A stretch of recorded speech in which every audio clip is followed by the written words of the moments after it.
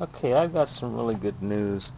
Uh, this uh, little thing that I built here worked out real well. I put a little uh, garden light solar cell on it, and uh, this is a type of uh, rechargeable cell. It's not um, it's not a capacitor, and it's not an electrolytic capacitor. It's some sort of rechargeable cell, and uh, you probably see that running around there. And let me show you the voltage on this. I can.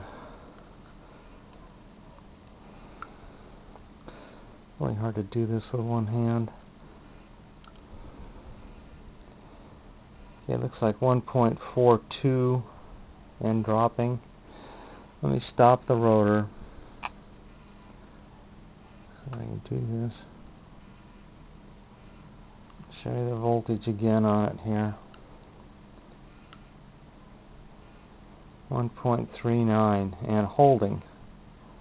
And uh, yesterday when I was fiddling with this, this was dropping off, but now I've got this formed up somehow, and it's it's holding the voltage.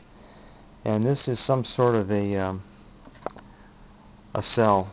Uh, I'm not calling it a supercapacitor. It's just a rechargeable cell using um, Epsom salts and tap water as the electrolyte.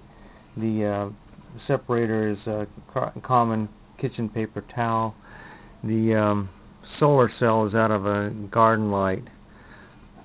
And um, it's what I used to just charge this up. It didn't take very long. Let me show you the voltage again on it.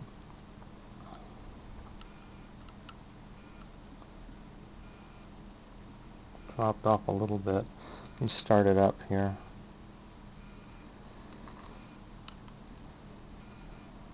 You this. This is going to drop off as it runs.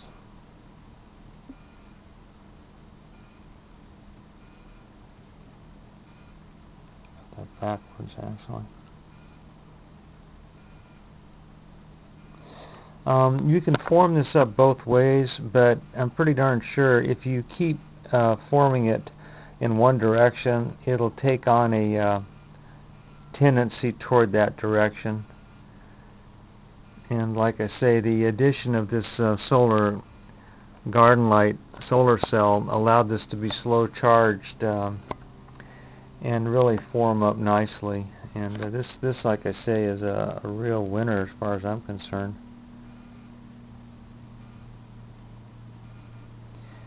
And that's pretty neat folks.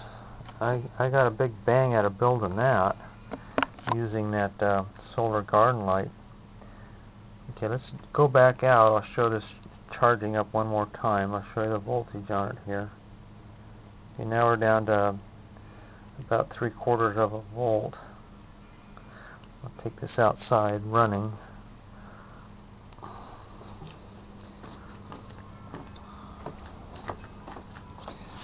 Let's set this on my chair.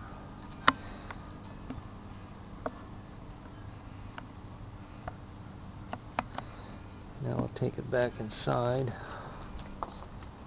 I'll take a look at the voltage in here from that little bit of charging that we did.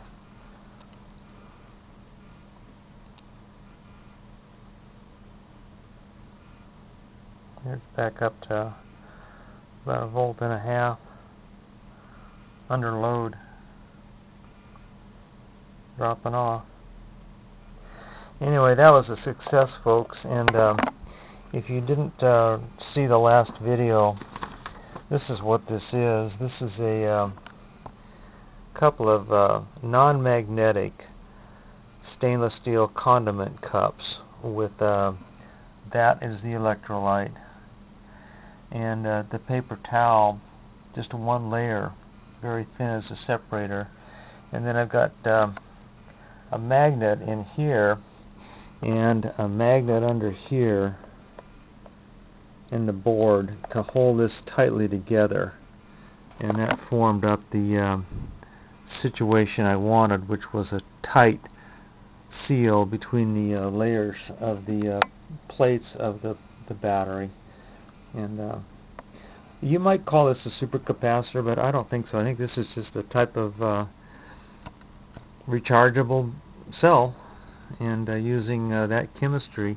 The uh, stainless steel is, I imagine, high nickel, high chromium content because it's not magnetic. Um, and then, like I say, the chemistry between the MgSO4 water and the metals in those uh, cups makes this this rechargeable cell. Let's take a look at the voltage again one last time.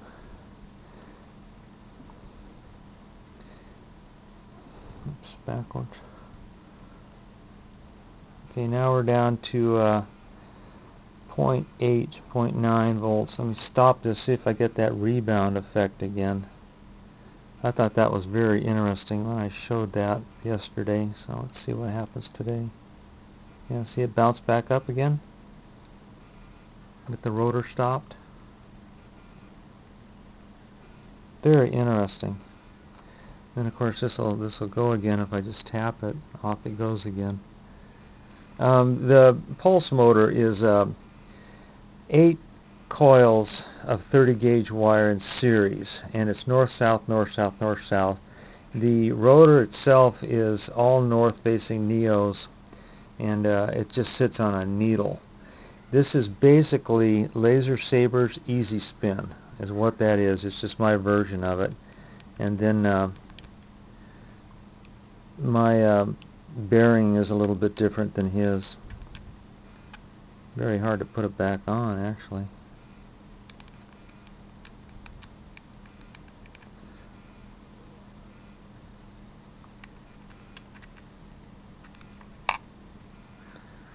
There it goes. Let's see what the voltage is one last time. Okay, now I'm down to uh, about half a volt and it's still run. This will run on down to uh, a little under 200 millivolts. Anyway, that's a success story there, folks. I, I recommend people take a look at this chemistry that's going on between the uh, non-magnetic stainless steel and that electrolyte with a thin insulator between the two and then the um, thing held together tightly. Thanks for watching.